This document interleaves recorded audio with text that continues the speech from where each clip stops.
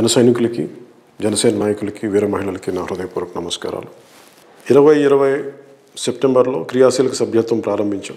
దాదాపు లక్ష మంది పైచులకు క్రియాశీలక సభ్యత్వం తీసుకున్నారు. క్షేత్రస్థాయిలో ముఖ్యంగా పోరాట యాత్ర చేస్తున్నప్పుడు చాలామంది ప్రమాదాలు గురవడం తర్వాత వ్యక్తిగతంగా మనకున్న నాయకులు ఆ రోజు నా పక్కన ఉన్న వాళ్ళు సహాయాలు అందించడం ఇవన్నీ చూసి సీనియర్ నాయకులందరితో మాట్లాడి కార్యవర్గంతో కూడా మాట్లాడి క్రియాశీలక సభ్యత్వం తీసుకునే సమయంలో వారికి ఏదైనా బీమా పథకం అమలు చేయొచ్చు దాని మీద ఆ సాధ్యాసాధ్యాలు చూడండి అంటే అందరూ పెద్ద ఉద్యమంలాగా చేపట్టి దాదాపు ఈ లక్ష మంది పైచులకు అందరికీ కూడా బీమా పథకాన్ని వర్తింపజేశారు. ఈ పాండమిక్ సిచ్యువేషన్లో కూడా చాలామంది రకరకాల ప్రమాదాలకు గురయ్యి ప్రాణాలు కోల్పోయి దాదాపు పద్దెనిమిది మందికి పిఎస్సి చైర్మన్ నాదెళ్ళ మనోహర్ గారి ద్వారా చెక్స్ అందజేయడం జరిగింది.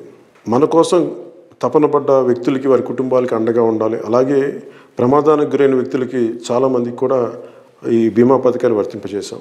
అలాగే సంవత్సరం అయిపోయిన తర్వాత కూడా మళ్ళీ ఇంక మధ్యలో పోయిన వాళ్ళందరికీ కూడా నేనే స్వయంగా కోటి రూపాయలు ఇచ్చి బీమా పథకాన్ని వర్తింపజేశాను.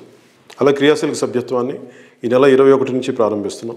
దీంట్లో ప్రతి ఒక్కరూ జన సైనికులు జనసేన నాయకులు వీర మహిళలు ముందుండి క్రియాశీలక సభ్యత్వాన్ని మరింత బలంగా ముందుకు తీసుకెళ్ళండి. రాను రాను చాలా క్రమంగా బలోపేతం అవుతున్నాం మనం. దీనిని మరింత ఉత్సాహాన్ని ఇనుమడింపజేసే దిశగా మీరందరూ చురుగ్గా పాల్గొని ఈ క్రియాశీలక సభ్యత్వాన్ని మీరు ఒక టార్గెట్ అనుకొని నా ఉద్దేశం అయితే ప్రతి నియోజకవర్గంలో దాదాపు రెండు వేల మంది క్రియాశీలక సభ్యత్వం సాధ్యమైనంత ఎక్కువ మందిని క్రియాశీలక సభ్యత్వం ఫోల్డ్లోకి తీసుకురండి. ప్రతి నియోజకవర్గంలో కూడా జన సైనికులు వీర మహిళలు జనసేన నాయకులు ప్రతి ఒక్కరు ముందుండి ఈ ప్రోగ్రామ్ని విజయవంతం చేయవలసిందిగా మనస్ఫూర్తిగా మిమ్మల్ని కోరుకుంటున్నాను.